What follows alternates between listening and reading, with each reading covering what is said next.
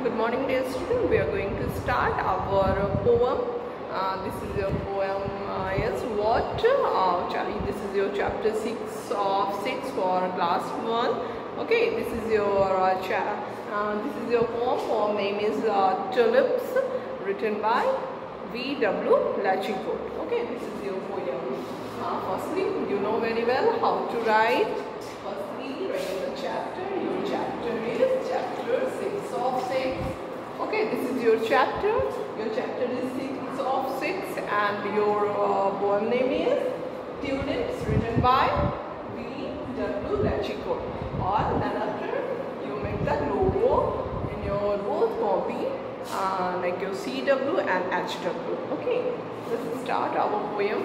It's a very beautiful poem. Uh, we know though what is the importance of uh, flower in life. हम लोग जानते हैं कि flower कितना अच्छा लगता है, सब लोगों को प्यारा लगता है। जैसे बच्चे सब लोगों को प्यारे लगते हैं ना, उसी तरह फ्लावर्स भी प्यारा लगता है, क्योंकि बच्चे भी अच्छे होते हैं, बच्चे की भी अपनी ब्यूटी होती है और फ्लावर की भी अपनी ब्यूटी होती है।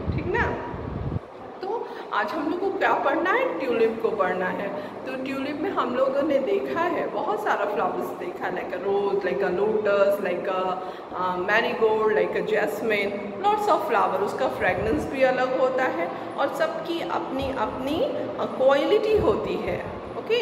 तो ट्यूलिप की भी अपनी क्वालिटी होती है, सबका शेप अलग होता है साइज़ अलग होता है कलर अलग होता है फ्रेगनेंस अलग अलग होता है। लेकिन फ्लावर्स सारे खुश खूब ब्यूटीफुल होते हैं और अच्छे लगते हैं, सारे लोगों को अच्छे लगते हैं, बच्चे को भी अच्छे लगते हैं और हम लोगों को सिखाया भी जाता है गुड मैनर्स में कि डोंट प्लग द फ्लावर क्योंकि फ्लावर जो होता है गार्डन में भी अच्छा लगता है, इस लॉकडाउन में तो आप लोगों ने लगाया ही होगा फ्लावर्स सब लोग लगाते हैं छोटे बच्चे भी लगाते हैं बड़े लोग भी लगाते हैं हम लोग वाटरिंग करते हैं उसको आ, और फिर वो सनलाइट लेता है। सनलाइट लेके वो खाना बनाता है। तो बहुत सारा इम्पोर्टेंस फ्लावर का होता है।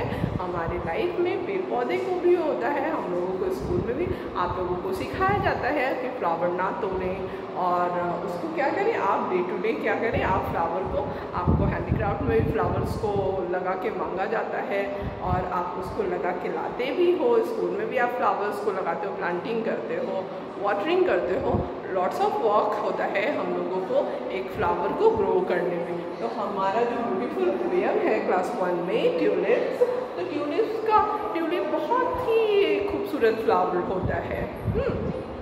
कश्मीर में, जम्मू कश्मीर में जो कि वहाँ पे ट्यूलिप्स की बहुत बड़ी सी आ, एक गार्डन है और उसमें बहुत सारा डिफरेंट डिफरेंट वेराइटीज़ का ट्यूलिप्स होता है। उसका शेप कैसा होता है? कप की तरह होता है।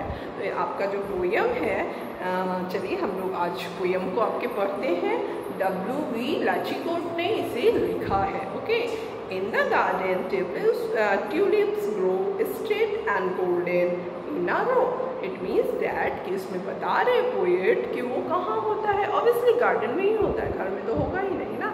घर के अंदर तो नहीं होगा ना, हम लोग गार्डन में लगाते हैं या फिर पॉट में लगाते हैं, छत पे रखते हैं, या फिर जो गार्डन होता है उसको ज़मीन में लगा के रखते हैं या फिर पॉट में लगा के रखते हैं। तो फिर इसमें बता रहा है गार्डन में और ट्यूलिप ग्रो करता है, बढ़ता है स्ट्रेट एंड गोल्डन स्ट्रेट और गोल्डन जो कि आपका कलर भी दिया हुआ, देखो यहाँ पे कितना खूबसूरत लग रहा है ना। तो इसमें इसके लिप्स हैं और इसमें से ये गोल्डन कलर का निकला हुआ है।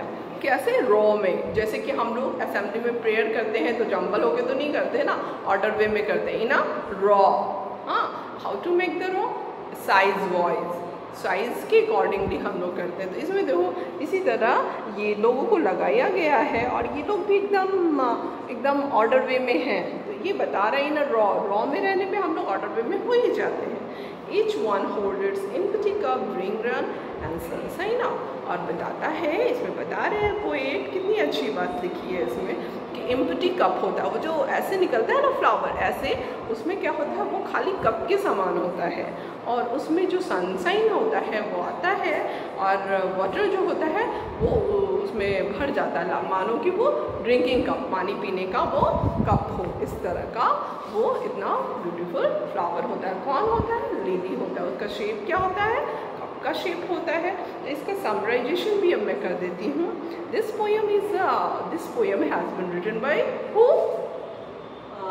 V W Lachikote okay and this poem has been written by V. W. Lachikote and this short poem is about uh, tulips it describes how the flower stand straight in a row the shape of flower is like a curve show its look as if the flower is drinking the sunshine and the rain from the cup.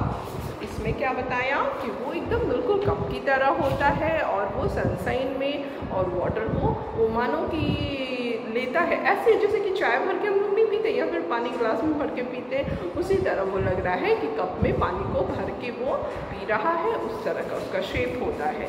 और वो कैसे होता है? Garden में होता है इन raw में इन a raw में उसको लगाया जाता है और एकदम स्ट्रेट रहता है। इन अ गोल्डन कलर एकदम स्ट्रेट खड़ा रहेगा और गोल्डन कलर का होगा, जो कि काफ़ी जिसके कारण वो काफ़ी वंडरफुल लगता है ओके और फिर, अब हम लोगों का कुछ एक्सरसाइज भी है, इसमें कर लेते हैं। फोर्टी एट है आपका। टिक द करेक्ट वर्ड्स यहाँ पे दिया हुआ है।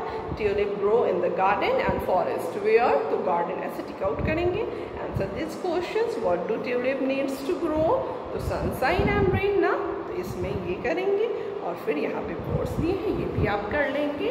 फिर हम लोग नेक्स्ट चैप्टर में, फिर नेक्स्ट पढ़ेंगे। अपना नाइस डे बाय